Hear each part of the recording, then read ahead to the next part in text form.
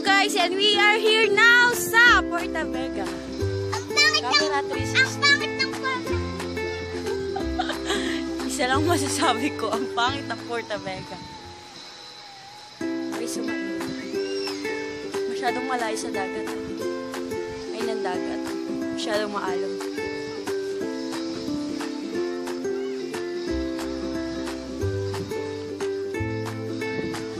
Ganun kalinis yung dagat dito. My godness, guys. Iikot mo kayo.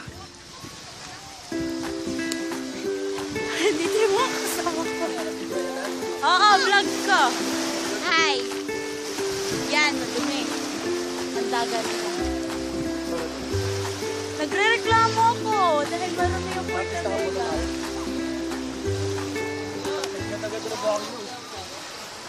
So yun na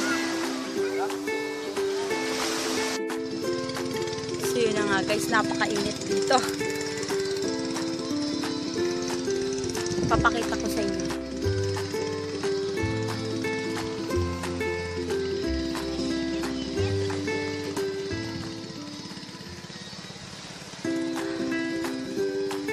Grabe. From here, yan. Diyan kayo magagaling. Walang mga kubo-kubo, nyug lang. Oh, malayo pa ang lalakarin nyo papuntang dagat, masyadong mainit. Kung gusto nyo talagang magpatan ng balat, dito kayo pumunta. From Dimasalang Masbate, sasakay pa kayo ng gado, no? Bangka-bangka na yan, ganun. 1,000.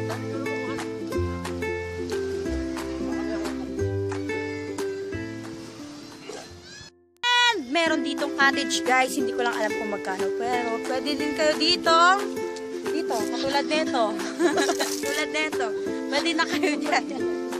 ano masasabi mo, Miss, sa Puerto Vega, Miss? Ah, okay naman yung sand. Maganda naman, maputi naman. Kaso nga lang, ang pangit ng dagat, hindi mo talaga mai-enjoy mag-swimming.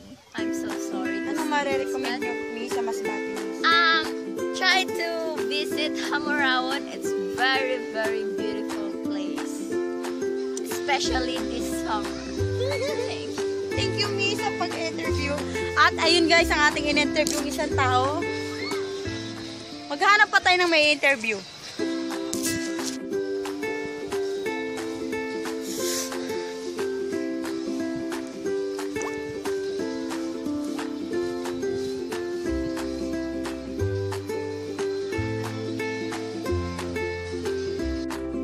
So guys, wala na tayong mahahanap mai-interview kaya ipapakita ko na lang sa, iyo, sa inyo ang buong Puerto Vega.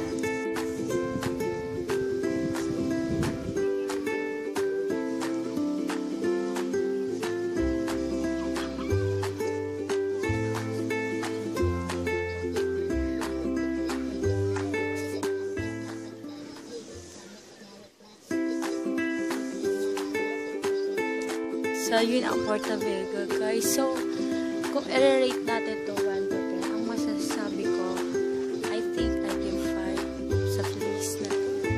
Dahil hindi pa siya ganun ka ganda. It's, wala pang mga cottages na masisilungan. Sa nyug ka lang pwede sumulong. Pero sa mga nagtitipid mag-travel para lang makapunta ng White Beach, maganda dito dahil maraming masisilungan cottages pala dito pero ang laki. I think mga nasa 1,000 pesos. tas malayo sa dagat. Goodness. Ito siya. Yan ang mga cottages guys. Malalaki yan siya. Wala pa ditong inn or house na matutulugan. Hindi pa yata pwedeng mag-overnight dito. Then from there, ayan, ganyan kalayo ang Pero pwede namang hindi ka na magrenta ng cottage dahil pwede ka namang sumilong sa mga puno na yan. Yan. Yan. Kung gusto mo magtipid, di ba? Tipa, tipa, tipa. And that's all guys. Thank you for watching in this video travel vlog. Masbate City. Next stop, Brasil.